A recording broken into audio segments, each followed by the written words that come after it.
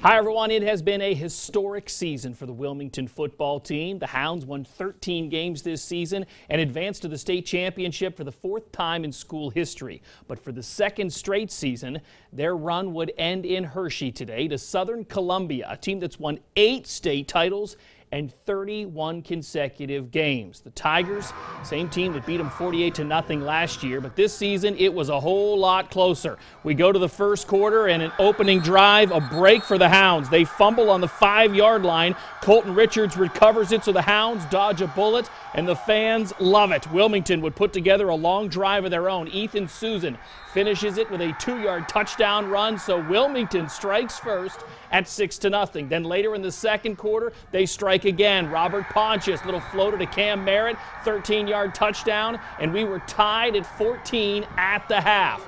The second half, though, was all downhill. Southern Columbia's Gaige Garcia somehow emerges from the pile, scores from 26 yards out. That gave him a 21-14 advantage. And then in the third, the Tigers dump it off to Garcia, and he's gone. A 37-yard touchdown. Gaige Garcia had 134 yards rushing today and five total touchdowns. His younger brother, Gavin Garcia, a freshman, rushed for over 100 as well. He scored twice. Wilmington falls falls to Southern Columbia again 49 to 14 Hounds. Their only two losses this season, consider this, came against state champions. Josh Freketic spent the day in Wilmington and has more from Hershey.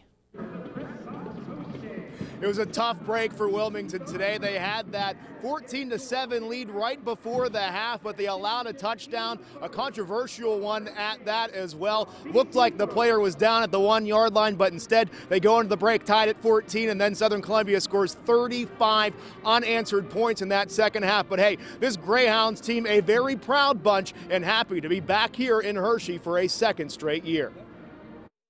This is a very, very, very dominant team that we were up against. To have them 14-14, I think says a lot about the belief, the buy-in of our kids and the character of our kids. They came out here today, they fought and they battled, and I couldn't be more proud of our boys and our team. We had to change some things uh, going to half, and um, you know they they changed some things as well. They ran the plays that were going to burn us, and we took away.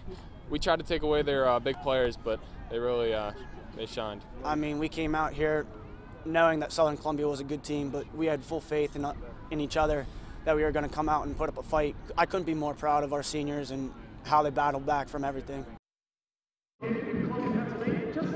That wraps things up for our Valley teams. Game still being played here in Pennsylvania. Penn Hills and Central Manheim going head to head in the state final here coming up in just a bit. But for our teams in Ohio and Pennsylvania, a season well done. Farrell state champs, Wilmington and Girard state runners up. For the final time here in Hershey, I'm Josh Freketic, Sports Team 27. We'll be right back.